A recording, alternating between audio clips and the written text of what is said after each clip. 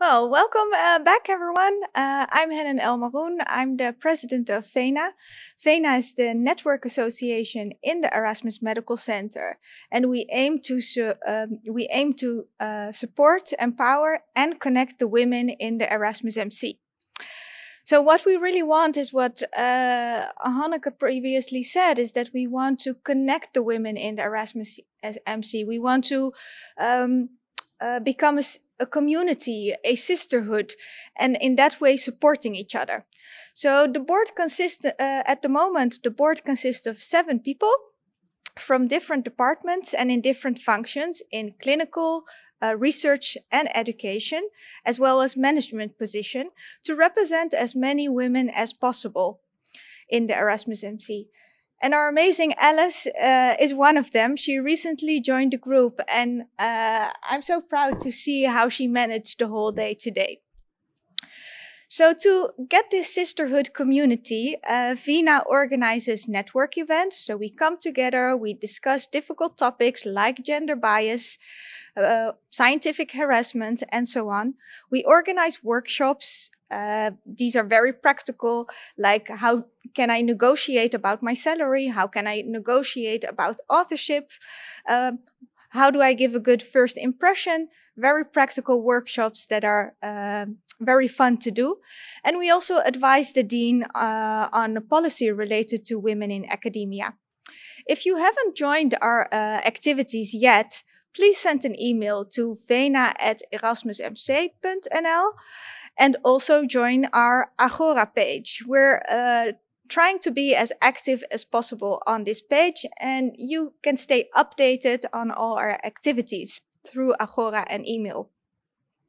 And while most of our uh, workshops have been uh, provided in Dutch, as of 2021, we also organize uh, workshop uh, and network activities uh, in English, but they're not all in English, but some of them are.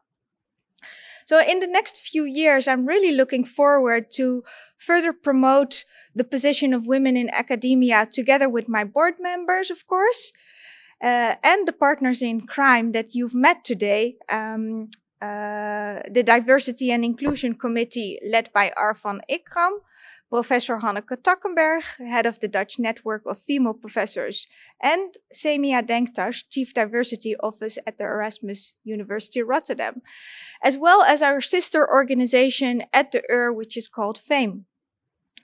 So last year, uh, Vena had her uh, 15th birthday already. Uh, but due to the COVID restrictions, we were not able to celebrate uh, our birthday. so we'll be doing that in September with a inspiring, interesting, and fun anniversary event that we will be starting organizing soon. Uh, and will be announced in the following trailer. So I'm looking forward to see you there. And uh, yeah, let's take a look at the trailer. Hallo allemaal, ik ben professor Helen Elmaroen, voorzitter van VENA. Ik sta hier met de oprichters van VENA, professor Jolien Roos Hesselink en professor Hanneke Takkenberg. Wij staan hier naar aanleiding van het 15-jarig jubileum van VENA. Mijn vraag aan jou is, waarom zijn we VENA gestart? Nou, dat is een hele goede vraag. 15 jaar geleden, toen hadden Hanneke Takkenberg en ik het gevoel dat er echt wat moest gaan gebeuren. Omdat we vonden dat er ehm, behoefte was aan meer doorstroming voor vrouwelijk talent naar de hogere academische functies. En je kan zeggen van nou, als je maar lang genoeg wacht, dan gebeurt dat wel. Hè? Want een heleboel van de medische studenten zijn tegenwoordig vrouw. Maar 40 jaar geleden, toen ik begon met mijn geneeskundestudie, toen was al meer dan de helft van de vrouwen, 60% van de geneeskundestudenten was vrouw. Nog steeds lukt het niet om in datzelfde percentage door te stromen naar de hogere functies. Terwijl ik denk qua ambitie en qua capaciteiten is het helemaal geen verschil met mannen. Maar er zitten toch een paar dingen en daar moet je de vrouwen in trainen. En je moet ook de mannen stimuleren om vrouwelijk talent naar boven te trekken. Dus het is van beide kanten hebben we support nodig. Dankjewel. Hanneke, uh, wat is er de afgelopen 15 jaar bereikt door VENA? Nou, het is echt een wereld van verschil.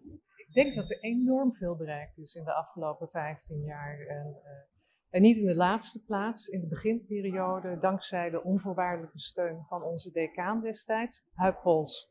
Hij heeft er ook voor gezorgd dat we niet alleen een VENA hebben wat vrouwen met elkaar verbindt, uh, maar ook dat het Female Career Development programma is opgestart. En inmiddels hebben we daar al heel veel uh, jaargangen van mogen meemaken. En ook uh, talentvolle vrouwen doorzien bloeien, absoluut. Um, en daarnaast denk ik ook dat ehm, zaken zoals gelijke betaling, een betere vertegenwoordiging in de hogere regionen van vrouwen, maar ook sociale veiligheid, een veilige werkomgeving echt op de agenda staan. En daar mogen we Vena heel dankbaar voor zijn. Maar ik mijn vraag aan jou is eigenlijk van, wij zijn er al een tijdje uit jullie, maar hoe gaat het nu met Vena? Wat doen jullie allemaal? Ja, zoals ik het hoor is er echt ontzettend veel gebeurd, uh, maar we zijn er nog niet. De speerpunten van Vena zijn daarom niet veel veranderd. We richten ons onder andere op het vormen van een community, want we willen dat vrouwen in het Erasmus MC elkaar versterken en ondersteunen. Daarvoor organiseren we netwerkbijeenkomsten. En we willen dat vrouwen in hun kracht komen te staan. Daarvoor organiseren we workshops zoals hoe kan ik het beste onderhandelen of hoe presenteer ik mezelf. En tot slot werken we aan zichtbaarheid van Vena, want nog niet iedereen weet ons te vinden. Wil je meer weten over Vena? Klik dan op onze Agora-pagina en hou de Save the Date in de gaten voor ons jubileum. So, with this announcement, the first edition of International Hello, Women's Day 2022. Oh, something went wrong. so, with this announcement, the first edition of International Women's Day 2022 has come to an end. And uh, I hope you've enjoyed it as much as we did, because we certainly did.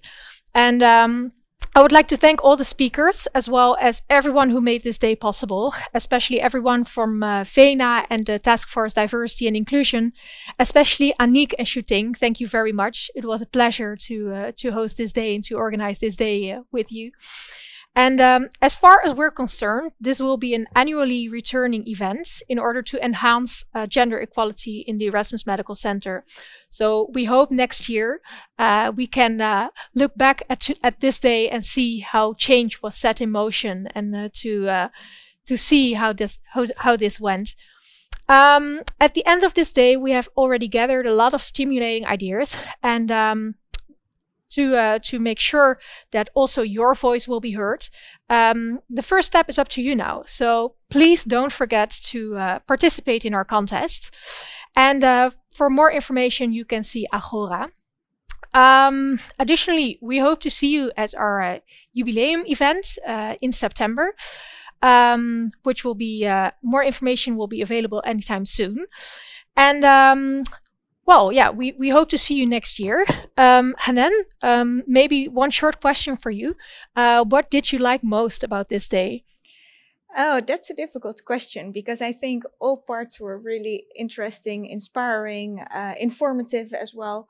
So it's uh, difficult to make a choice, but uh, I did like uh, the panel discussions a lot. So it showed that even though some panel members had different opinions from uh, different angles. Uh, it shows the comple uh, complexity of of uh, uh, gender equality in academia.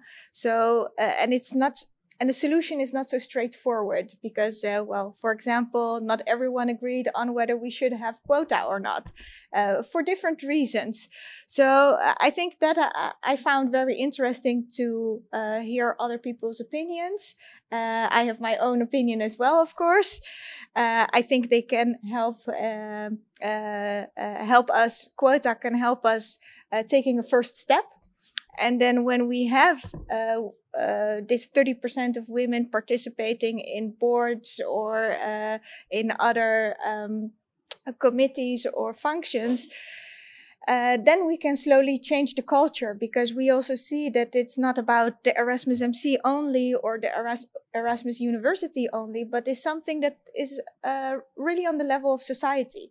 And uh, I think that these quota might help, but uh, then I I could understand the positions of the the other uh, uh, members. So I I guess that was for me a very nice part of the program. Yeah, great. Yeah, I totally agree with you.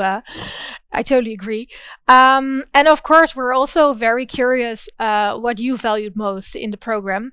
Um, I speak for as I speak for myself. I think I really like the panel discussion, but I also really like the lecture given by Professor Hanneke Takkenberg because it was very practical, but also very honest. Um, for next year, we hope to host this event uh, uh, again. So if you have any suggestions on what you want to be seen in this, these kind of programs, just feel free to, uh, to email us at uh, dni at erasmusmc.nl or to vena at erasmusmc.nl. Um, yeah, well, thank you for being with us today. And uh, we really hope to see you next year. Thank you. Bye. Bye.